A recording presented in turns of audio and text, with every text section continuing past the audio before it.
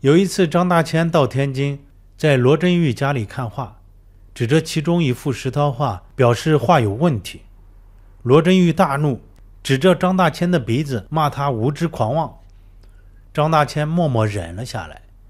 三个月后，上海那边传出了一个轰动画坛的消息，说在一个没落贵族的老房子中，发现了八幅巨幅的石涛山水画屏，而这八幅山水。还是在史料中有收录记载的。罗振玉听到这个消息后，立马打电话给上海的画商，让画商把原件送过来看看。几天以后，画商送过去一幅。罗振玉看后惊喜万分，画的尺寸和他收藏的八大山人的字屏完全相同。他认为这是天赐的缘分，不由分说就把画留了下来。并且让画商把剩余的七幅全部送过来，后面就开始谈价格了。经过一个月左右的讨价还价，最终决定五千大洋成交。罗振玉得到这八幅石涛画屏后，心里非常得意。和八大山人的行书调屏装裱在一起后，邀请朋友到他家里吃饭赏画。张大千也被邀请了。席间，罗振玉眉飞色舞的。介绍得到画的过程以及画作的珍贵，朋友们也都连连称赞，而张大千只是埋头只管吃喝。等到酒宴结束后，众人都散去的时候，张大千留在最后，便又开口说道：“这八幅石涛可有点靠不住啊！”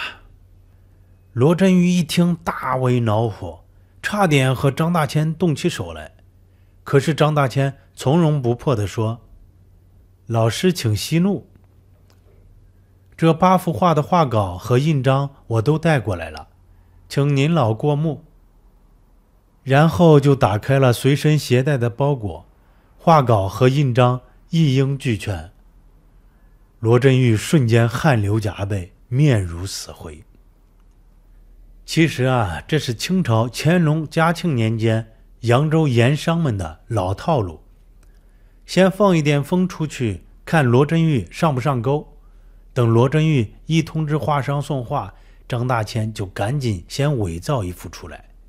罗振玉看过后，把这幅画留下来，生意基本上就谈成了。趁着罗振玉和画商讨价还价的期间，张大千再把另外七幅赶画出来。天时地利人和，相互配合的好。一步扣一步，只要罗振玉一动心，那就非上当不可。这就叫得了便宜还卖乖，手法是真高明，可也是真缺德啊！除了这些因为造假结仇的，还有因为买了张大千假画而结缘的。许悲鸿就是其中之一。据北京琉璃厂的古董商说，一九三零年。张大千把伪造的石涛画放在一个古董商那里寄卖，这位古董商和许悲鸿很熟，就把一幅石涛的山水画拿给许悲鸿看。许悲鸿看了半天，无论从笔墨、落款、印章以及用的画纸等各方面来看，确实是真品无疑。古董商开价三百块大洋，一块也不能少。许悲鸿当时没带那么多钱。过了几天，实在忍不住，还是拿钱去买了回来。后来张大千来拜访，许悲鸿就把新收藏的石涛画拿出来，请张大千鉴定一下。张大千看了以后没有评论，反而问许悲鸿觉得如何。许悲鸿说：“第一次看到这么好的石涛山水，绝对是石涛的精品之作。”张大千这也是废话。许悲鸿亲自掏腰包花巨资买回来的，你说他觉得如何？他如果觉得不好，就不会买了。不过这也是张大千出于炫耀为目的的故技重施。于是张大千就说：“这样的画我也能画得出来，算不了什么。”说着就把画的一角挑开，背面露出了他的那个标记“原”子。这时候，许悲鸿才恍然大悟，知道自己看走了眼，遭了道了。不过据说张大千把三百大洋还给了许悲鸿，并且说这幅画就算是小弟送你的了。许悲鸿从此对张大千是非常佩服，后来还请他到中央美院做教授。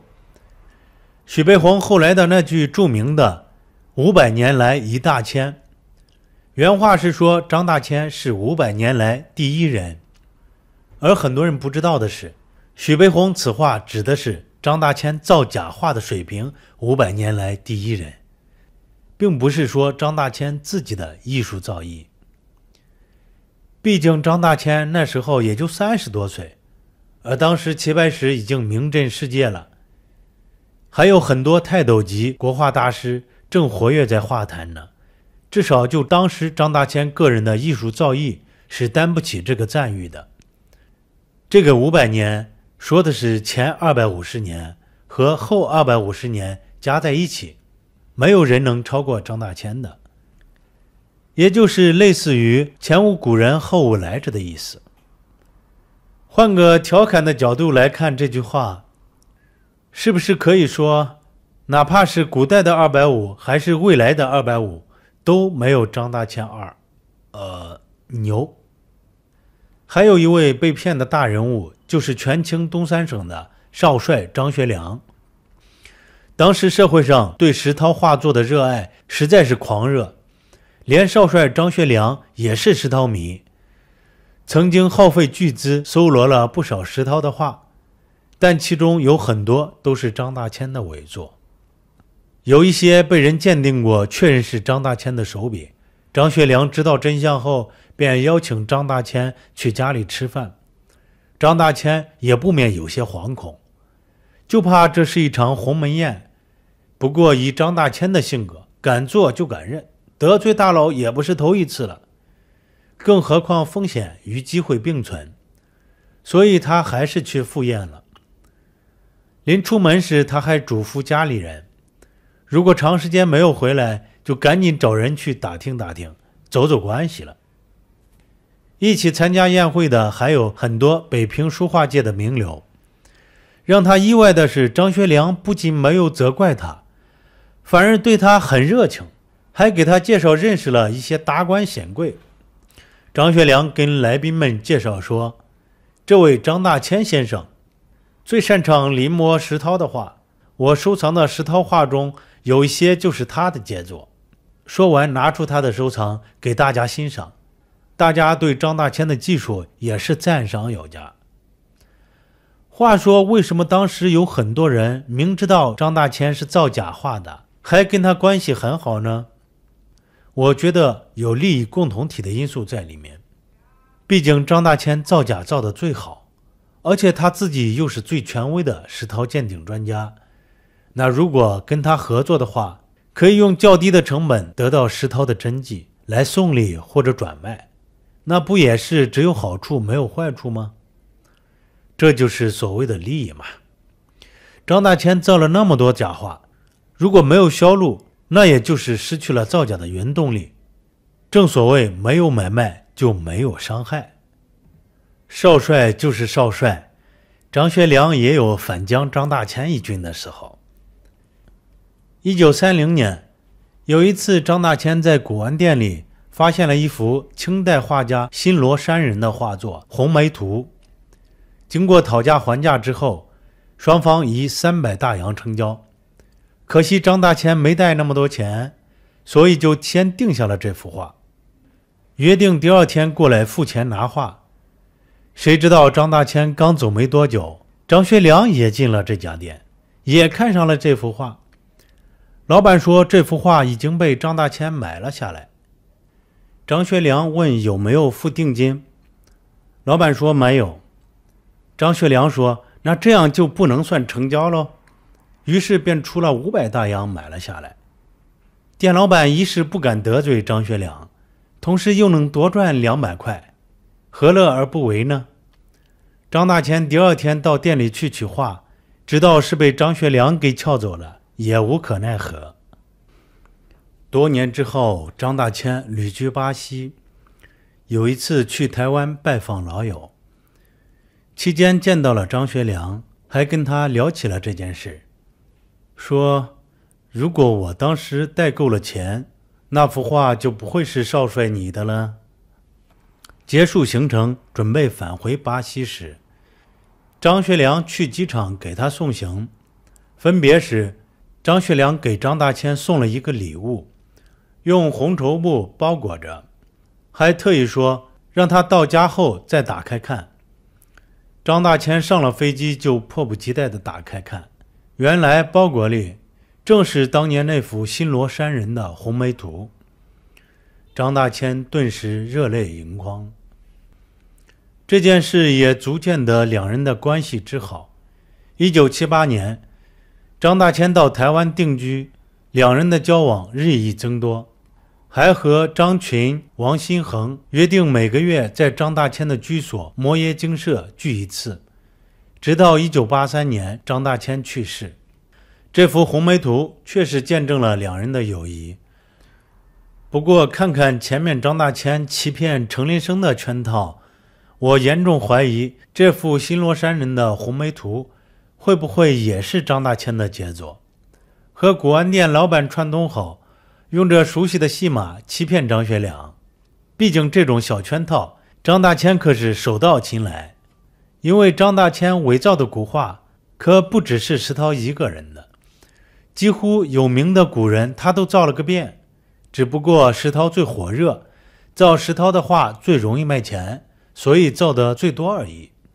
据说在伦敦大英博物馆的收藏里，有几十幅石涛画都是张大千的伪作。另一方面，张大千欺骗可是不避亲友的，有钱皆可骗。按张大千的性格，如果是他造假的，他后面应该会说出来。不过后来两人关系很好。张学良又位高权重，而且张学良之前已经买过很多他的假画了，即便这幅画是他伪造的，想必也不会说出来。而且造那么多假画，如果都说出来，那这生意还怎么做呢？真相可能也只有张大千自己一个人才知道了。张大千身边的人可没少上他的当，还有一种就是狸猫换太子。据说张大千有一次知道朋友收藏了一幅古代名画，画的名字我是忘记了。他跟朋友说想借来欣赏临摹，朋友便把画借了给他。可张大千临摹完后，竟然把他的临摹品还给了朋友，而把真迹偷偷自己留了下来。他朋友也没有发现，这真是防不胜防啊！做张大千的朋友真的是要万事留心啊，因为他的技术和骗术都太高明了。他的好友王继谦曾经问过他为什么要卖假画给别人，张大千说：“这帮人有钱，但又不懂画，卖给他们真画多浪费，不值得。”从这些故事中，我们能看出来，张大千为了成名和挣钱不择手段。不惜造假画，故意去挑衅名人大佬，炫耀自己的画技，达到快速在业内成名的目的。同时还挣了很多钱。别人往往都是造了假，就算被人揭穿都死不承认，而他却是主动揭穿自己，并且还以此到处炫耀。很多造假的故事，在他晚年时候经常跟朋友津津乐道。张大千晚年有一次。在纽约华美协进会做学术交流，大都会博物馆远东部李佩先生用幻灯片在讲八大山人的作品，张大千也在做。李佩是用英语讲的，张大千是听不懂的，只看幻灯片。当时放出来一张，李佩讲的正高兴，张大千却大声用中国话说：“这张是我画的。”在场的中国人都哄堂大笑，只有外国人不知道是怎么回事。结合我们前面讲过的张大千出家时两次跟船夫打架的事，就能看出来，张大千确实是一个不守规矩的人，可以说是一个规则破坏者。他不会被道德束缚住，并且脾气暴躁，不管对方是不是名人大佬，还是有权有势。不服就干，目的只有一个，那就是达到自己的目的。再回想一下他年轻时候当土匪的经历，不知是做土匪的经历影响了他，还是骨子里就带着这种匪气才做的土匪。看了他后面的这些经历，我很怀疑他当时是不是主动去当的土匪。当然，这是玩笑话。张大千造假画手段如此高明，导致那么多名流上当。那我们来看看张大千手段是怎样的，到底是有什么样的绝招和讲究，成为五百年来第一人的？造假画通常要注意几个事项：首先，造假的对象名气要大，名气不大卖不出好价钱；第二是避免引起过争议的内容。有些画本来就被一些鉴定家们鉴定过，对真伪已经存在争议，再去仿造就会横生枝节，惹来纠纷。第三就是顾虑到纸的年代，仿造同时代的古画，以及和自己笔法风格类似的画家。张大千造假画一般是先提款，款没提好就放弃掉，只有款提好的才开始画，毕竟画画的时间要长。而提款较快，如果先画好了画后提款，那提款没提好，不就是前功尽弃了吗？通常采用的表现形式是改变画幅的形式和比例，由横幅再删减增加一些内容，变成竖幅。第二是改变题诗，把原画中的诗改成其他的诗，或者是没有诗的画上。题上石涛或者古人的诗。第三是改变原画的印章。第四是从几幅真迹中抽取素材，拼成一幅新的构图。第五是化繁为简，或者化简为繁。第六是把黑白的水墨画加上色彩等等。张大千想要成为造假大师，首先要成为鉴定大师。先天的过人的记忆力和分析能力是一个基础条件，还要见多识广，见得多，眼界宽，外行也能变成内行。这要得益于他的经济条件和广泛的社交关系。有了足够的经济条件，才能够购买名画、古画。社交广泛，才能够认识那么多的藏家和画商。其次是识。也就是鉴别，看得出真假和好坏，最后是知，就是丰富的知识，比如古代画家的师承渊源、用笔用墨、风格变化，以及古画在历代藏家手中的传承等等。这就需要对古画进行大量而且丰富的研究。鉴别一幅画是不是真古画，就是看时间，撇开画的内容本身。要先看画纸的材质，就是古画绘制的年代有没有这种纸。第二要看这幅画所显示的迹象，有没有经历过若干年代，因为不同年代的造纸材料和制造工艺都有所不同。虽然画可以做旧，但如果对历代造纸的知识以及装裱工艺都了如指掌，那就可以对照鉴别。按照收藏界的说法，古画十张就有十一张靠不住。十张就是十张，哪来的十一张呢？因为有一种常用的方法，就是大幅改小幅，自然就多出一张来。而且只要是名家古画，就必然有假，甚至你看到的古画真迹本身可能就是假画，因为自古以来就造假成风。要不说这行水很深呢，就连我们所熟知的古代画家范宽和米芾都是造假大师。不过他们也都最终成为了大师，所以即便是造的假画，也成为了价值连城的名画。那再看张大千，不是也一样吗？有部古书叫《装潢志》，书里讲了很多装裱字画书籍的款式。和工艺技巧，这也是鉴别古书画的必修课。张大千曾在家里养了两名装裱工，可见他对装裱的重视。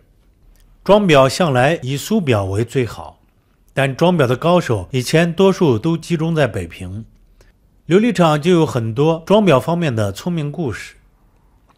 清朝初期时，有一次朝廷需要装裱工，下令让苏州送四名装裱工人进京。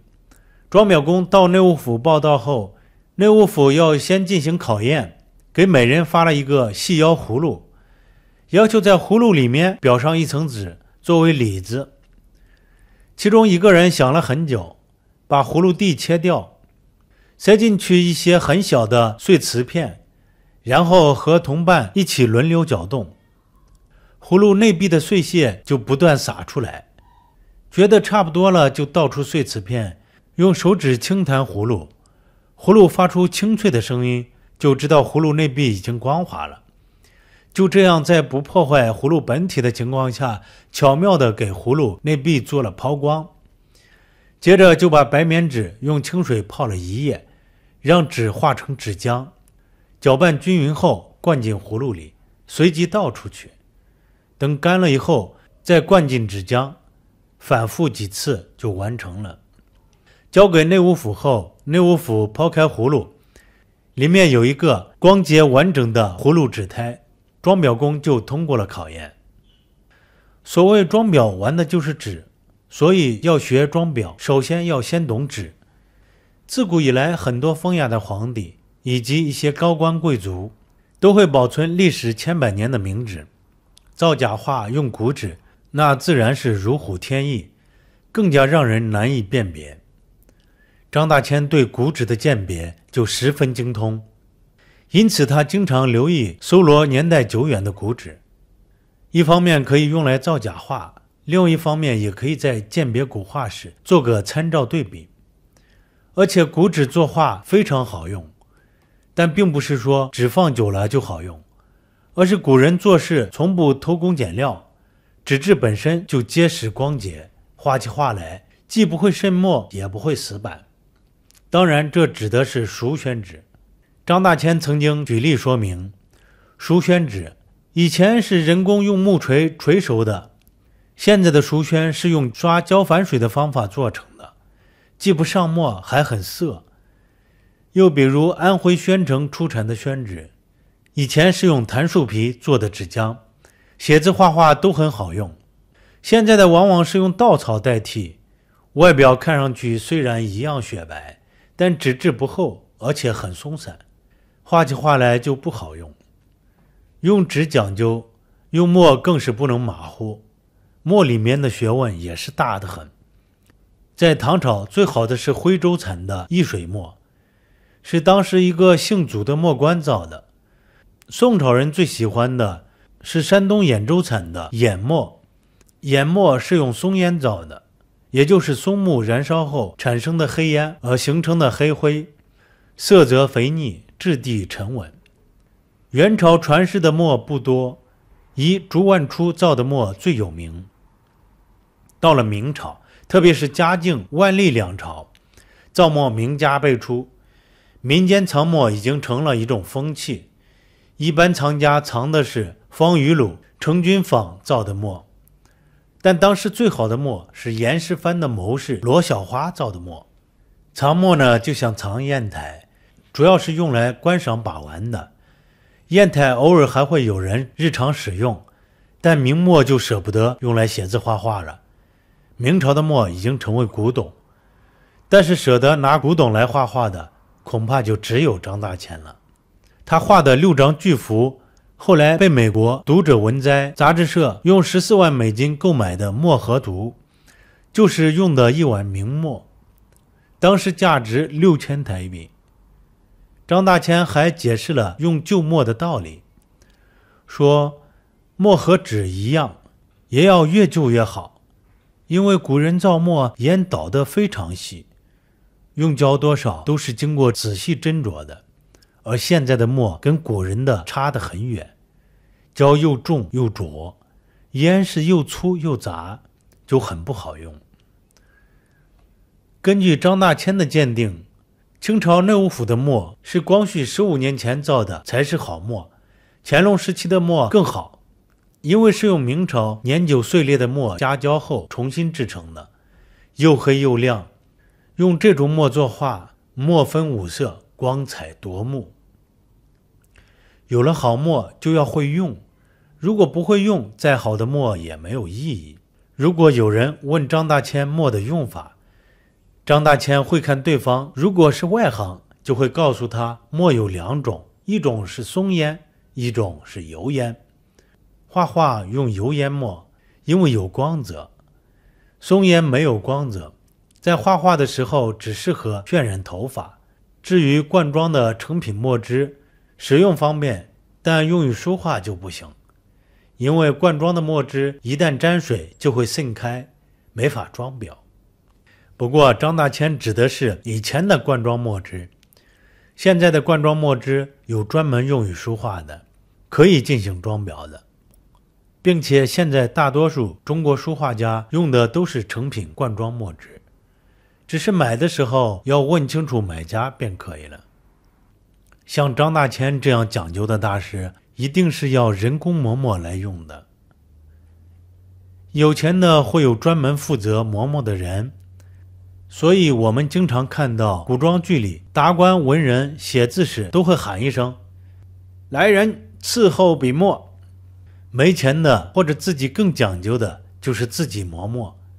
磨墨是很耗功夫的，有的要从半夜开始磨墨，一直磨到天亮，才能磨上一缸墨，供白天使用。遇到内行，张大千就会跟他说：用墨要勤，勤字最简单也最重要。砚台要时时清洗，不能留素墨，也就是隔夜墨。素墨焦散。色泽暗淡，还有很多渣渣，写字画画都不好用。如果说墨是弹药，那毛笔就是枪，可谓是重中之重。史书上说毛笔是秦朝大将蒙恬发明的，他发明的毛笔叫苍毫，是用柘木做笔杆，鹿毛和羊毛做笔毫。但在民国初年，长沙的战国古墓中发现了一支毛笔。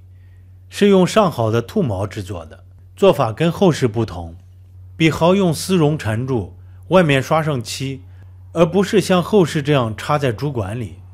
这证明在秦朝之前就已经有毛笔了。张大千喜欢用上海杨振华的笔，杨振华也特别推崇张大千的画。制笔呢，经常会征询张大千的意见。张大千每次定制毛笔。一定是大中小各五百支，因为他画工笔花卉和仕女图都一定要用新的毛笔。制笔通常用羊毫、子毫、狼毫、鸡毫、兔毫。杨振华制笔曾经用过马毫，张大千则特制过牛毫。这种牛毫必须要用牛耳朵内的毛，而且只有英国某地产的黄牛耳朵内才有这种毫毛。当时英国最名贵的水彩笔就是用这种牛毫制成的。这种牛毫制成的毛笔吸水饱满有力，弹性还很好，写字或者画写意画都非常好用。这种牛毫来之不易，据说要两千五百多头牛才能采集到一公斤。张大千托人找关系，花了重金，好不容易才搞到一公斤，带到东京。找日本制笔最有名的玉川堂和喜无两家笔店，精挑细选，一共才做成了五十支毛笔，非常珍贵。张大千还给这批毛笔起了个名字，叫一坛主蒙。他说：“既然用牛耳毛，用此笔就如同织牛耳。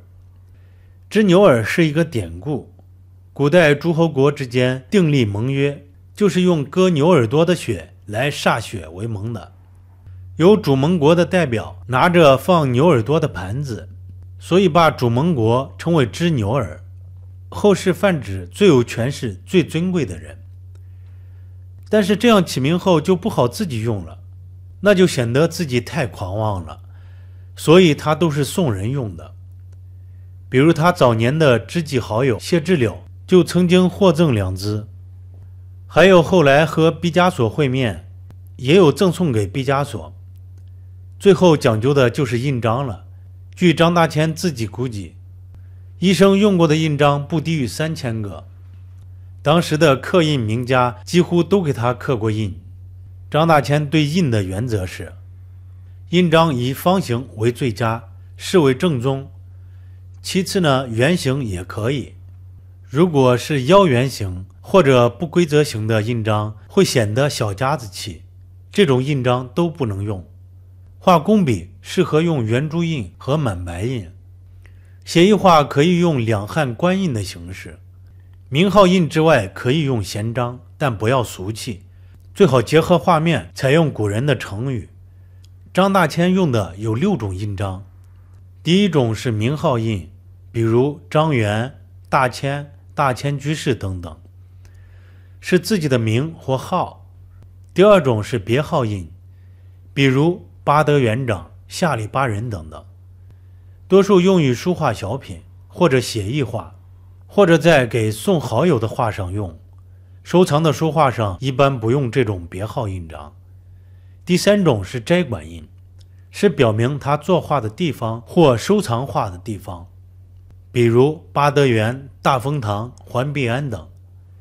第四种是收藏印，张大千是超级书画商，他的藏画上通常印“大丰堂珍藏印”或者“藏之大千”，而遗子孙印是用在用来做传家宝的画上。